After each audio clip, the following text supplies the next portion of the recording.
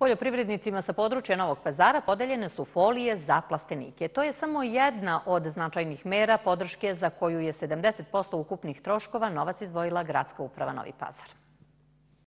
Danas je vrijednim ljudima deževe i požege uručena oprema za plastenike. To je samo jedno u nizu podsticajnih mjera za koju grad izdvaja novaca, sa svojim sredstvima manjim dijelom učestvuju i poljoprivrednici. Svi plastenici, kao što vidite, su većih dimenzija, jer su to ljudi koji su već obučeni. Dok smo na drugim mjestima kod početnika davali manje plastenike. Ovi plastenici su kupljeni od učešća grada Novog pazara za razvoj poljoprivrede 70% i 30% za od poljoprivrednika. Kupili smo i 24 folije za poljoprivrednike koji već imaju svoje konstrukcije, a nemaju, a nemaju folije, propali su im folije, da ukupno je kupljeno 120 folija, ukupno je vrednosti 1.397.000, učešće grada 917, 415 poljoprivrednika i ide 96 metalnih pocinkovanih konstrukcija, 5.515.000 dinara.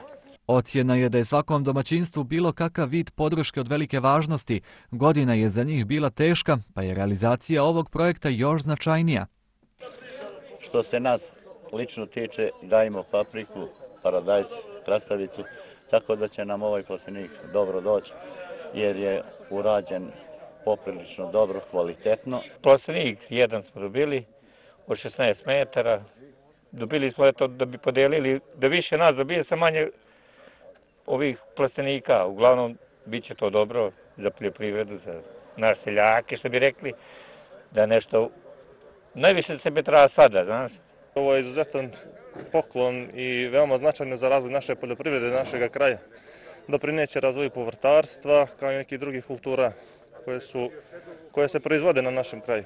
Kako bi proizvodili i živjeli od svojih proizvoda, planirana je realizacija drugih značajnih projekata koje će sprovesti Međuopštinska unija poljoprivrednih udruženja, a za koje je novac obezbjeđen iz gradske kase.